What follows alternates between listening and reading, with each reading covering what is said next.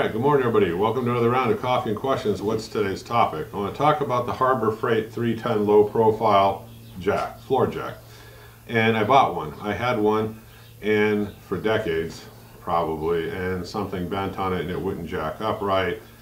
Anyway, I got rid of it and I decided after a period of time, because I'm an intermittent user, I probably needed another one, especially for that golf cart project if you've been following me in order to change out the bushings and stuff, yeah, I could have done it with a bottle jack and jack stands, but it'd be a lot easier, a good time for me just to go ahead and get another floor jack. So I could have bought ones that were a lot cheaper, and I thought, no, I'm just going to spend the extra money. This was about $175 plus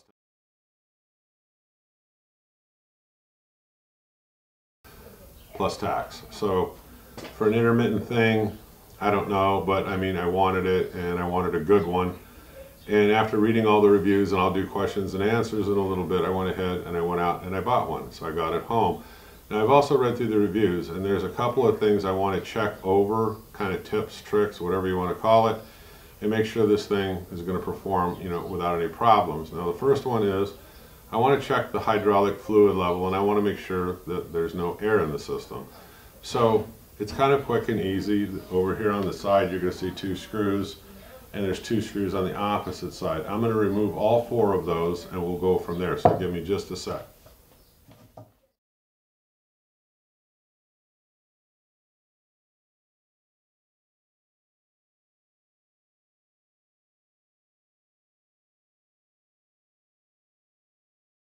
Okay, after removing all four screws, you can remove this plate right here and then that's going to give you access down to where you put the hydraulic fluid in. So I'll pan down and show you. Okay, so right here's the fill screw, and it takes a standard screwdriver. So I'm going to take this off. We'll take a look and see if it's filled with hydraulic fluid.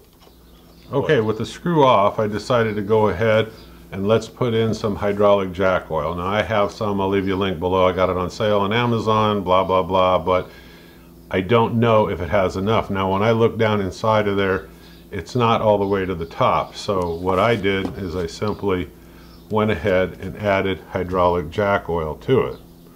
And I filled it up. Now it took more than I would have thought it was going to take, but it's the way it is. They just uh, didn't ship it with enough hydraulic oil in it. So I'm going to replace the screw, but I'm not going to tighten it all the way down yet. We get it in there a few turns. Now if you take the handle and turn it counterclockwise and you give it just like a couple of pumps here, you'll see the oil starts to seep out around that screw. So now you know the air is out of the system. I'm going to dry it off good. I'm going to go ahead, let's tighten this screw up. Now people complain that it leaks. Don't over tighten the screw, just snug it down real good. Um, if you do still have a problem with it leaking, you can go to an auto supply store pretty much anywhere, get a little rubber seal, put it on there, you're good to go. So, okay, so for right now, there we go. Now, what's the next thing? I didn't trust that it had enough oil, and sure enough, it did not. So now we're going to take a look. I want to take a look at the grease fitting. There's only one on here. So now what I want to do is I want to take a look at that grease fitting right here. There's only one on this jack, but I didn't trust the oil and I was right, it was too low or didn't have enough in there. So I'm gonna go ahead and give this a couple of pumps. Okay, there we go. It may have had enough grease in it, but just in case, just as a precaution, no any problems. Okay, now what I'm gonna do next is I'm gonna replace that plate that we took off. And then what the instructions say is put it under load, like slide it under something heavy, turn it clockwise and go ahead and jack it up and you should be home free. I'm not going to put it under load on the video. Uh, you can do that on your own, but uh, that's the next step. Okay, let's flip over to questions and answers now and see what people have got to say and I'll give you my response.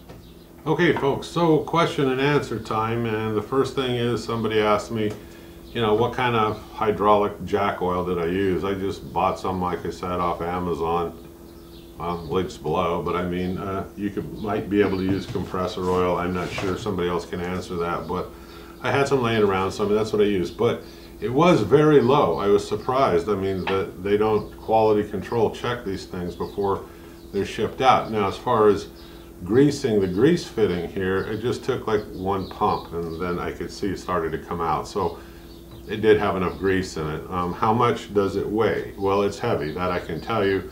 From the literature, it says about 70 pounds. Now, if you want something lighter weight, you can look for an aluminum jack, or if you have a shop, you may not want something, you know, that heavy, or if you're mobile for some reason. So, but for me, DIY, this will be fine. Um, I knew it when I bought it because I picked it up. Yeah, they have a color selection, but I went with green. I, I just liked it, so it, it was like, you know, that's what I'll take.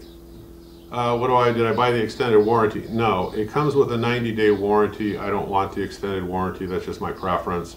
I'll figure it out within 90 days. I saved the box, but uh, I think it's gonna work out fine. I don't have any complaints. I really like the jack. Now, the thing is, it says three and a half pumps. Um, you know, no, uh, it's gonna take you more than that. I knew that, I mean, but the difference between three and a half and if I have to give it six or eight, you know, pumps, it's not a big deal, the rapid part of it, not to me anyway. If it is to you, you can try it while you're out there, but no, it's, I don't think it's gonna do it in the three and a half pumps that it claims. Uh, would I buy it again? Yeah, I'd buy it again. I like it so far, but like I said, I'm kind of a new owner to it. But comparing prices and so forth, I think it's a good jack. It's not the top of the line best jack, I get that but it's also not some, you know, cheap junky thing. There's lots of them being sold on Amazon, and I knew that if I bought this locally at Harbor Freight and there's a problem, I could take it back immediately. Uh, do I wish they had a longer warranty than 90 days? Yeah, but they don't. I'll have to figure it out within the 90 days. So that's my response to the question, uh, just my opinion.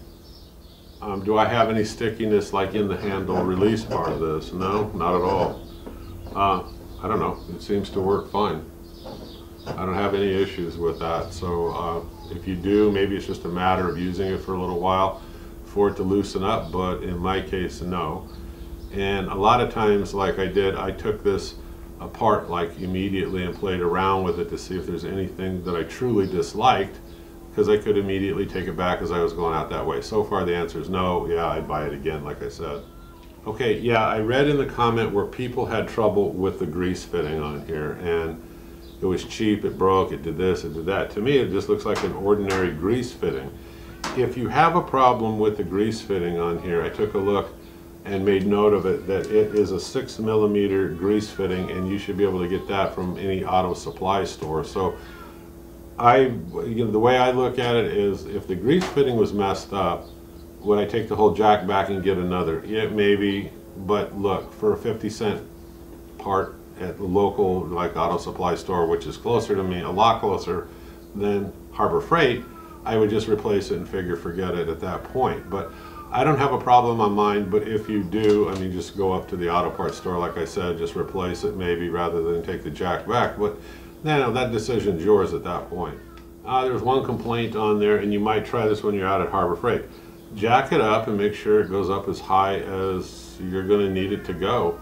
And somebody made the complaint, well, it didn't quite get up as high as they wanted it to, and they were going to take the jack back, spend more money, you know, and get one that goes up higher. Now, if you're talking about a one-off kind of a thing or some, you know, thing that you're only worried about this one-time usage, you know, get yourself a big fat wood block, put it on top of the jack and jack it up. But in that case, use jack stands and take some other safety precautions. But like I said, if it's just a one-time intermittent, one-off thing, I mean, I'm not so sure I'd take the jack back just for that reason.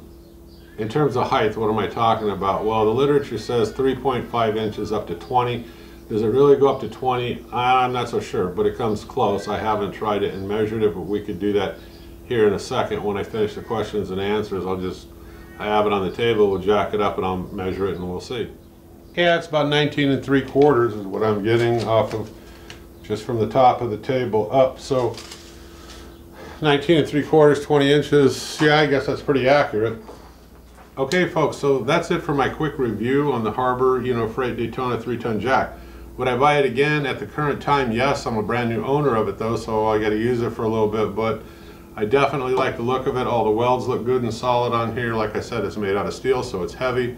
It's one thing you might want to take into consideration. The other thing is do the couple of steps that I did so you don't run into trouble. Make sure you got enough you know, of jack oil in there and just grease that fitting. It just takes a minute. Now the other thing is I did go around and I sprayed everything with a lubricating oil that I have.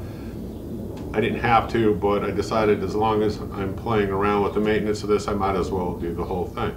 Okay, so those are my thoughts on this. Like I said, I give it two thumbs up so far. Not a big deal to add more oil. Outside of that, I think it's a great jack.